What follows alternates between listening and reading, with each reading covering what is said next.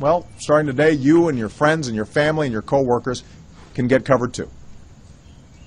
Just visit healthcare.gov, and there you can compare insurance plans side by side the same way you'd shop for a plane ticket on Kayak or a TV on Amazon.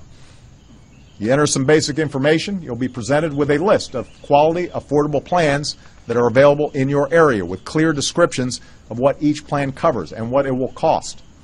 You'll find more choices, more competition, and in many cases, lower prices. Most uninsured Americans will find that they can get covered for $100 or less.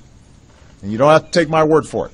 Go on the website, healthcare.gov, check it out for yourself, and then show it to your family and your friends and help them get covered, just like mayors and churches and community groups and companies are already fanning out to do across the country. And there's a hotline where you can apply over the phone and get help with the application.